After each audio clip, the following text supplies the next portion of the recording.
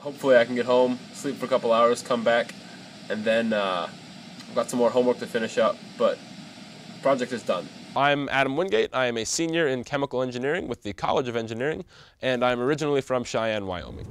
The eastern half of the state is all flat plains where it blows wind a lot, and that's where I'm from. I love Wyoming. It's definitely an acquired taste. I was looking to get out, but I wasn't necessarily running away. And uh, I got the scholarship, which was, uh, it's called the STAR Scholarship, only for uh, Wyoming high school graduates and only if you're going to Michigan State University. So it was kind of my one-way ticket out of there. You want them to spread their wings and you want them to grow, but there's still a little bit inside of you that's uh, still a, a, parent, and they, you'd love to have them around, but you know that they're they're going to do bigger and better things wherever they're going to be. Well, I, I've always liked math and science, and so the fact that I'm still kind of doing that and I'm learning, getting some hands-on application in the lab is great too. So just kind of the whole experience, really.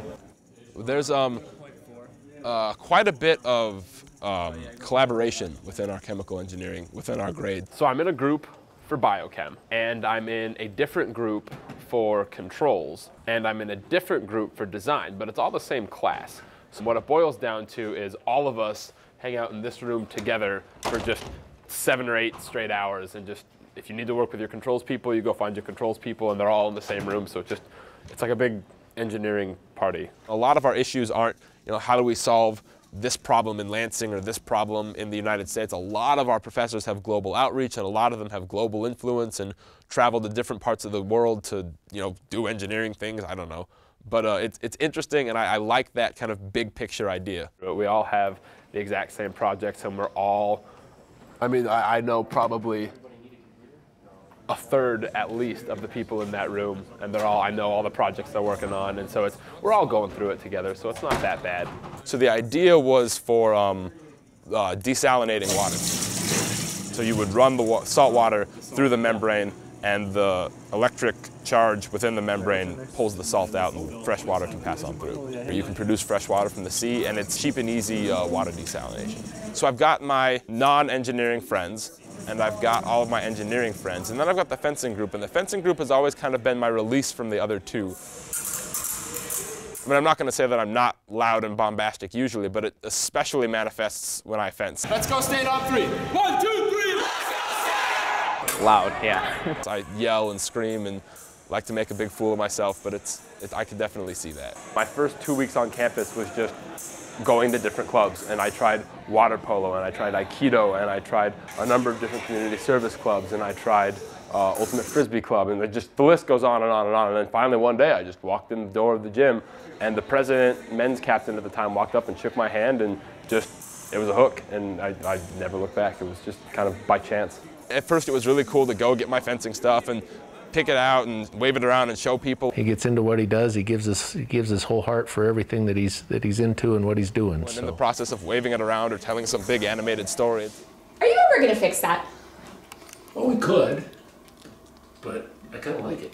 It's, it's reasonable to put one through the ceiling every now and then. We've been working on this project for two and a half, three weeks now, and so the first bit was doing a bunch of hand calculations, and that was an all-nighter. I, I, would say the whole thing's probably at least 100 man-hours. So it's, uh, it's 5.20 in the morning. I am still in the engineering building, as you can see.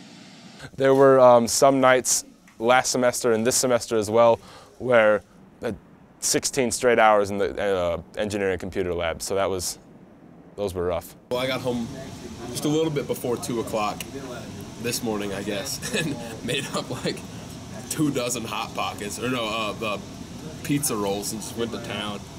It was just scraping by, so lots of takeout or bread. Like I said, you think I'm kidding, but take a piece of bread and eat it. No cheese, no, just, just plain old bread, and that's got by on that. I don't know if we're allowed to give advice through this thing, but if you move off campus, get a meal plan.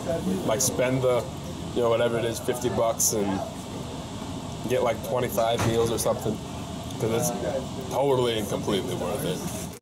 It's so nice to have real food again. I eat vegetables now. Never thought that would happen again. Um, yeah, it's great. It's great. You know, four years have gone by so fast, but I, in some ways I feel like we're just starting and I, I can't believe it's coming to an end. So he's just made the most of, of the whole time there and I'm just so excited for him and excited for his last semester and everything that's coming next for him. It wasn't necessarily hard to leave, but I could see myself going back. For a uh, single 20-something year old guy, it's probably not the best place to be. But um, maybe a few years down the road, I could definitely see myself moving back there for a more permanent job.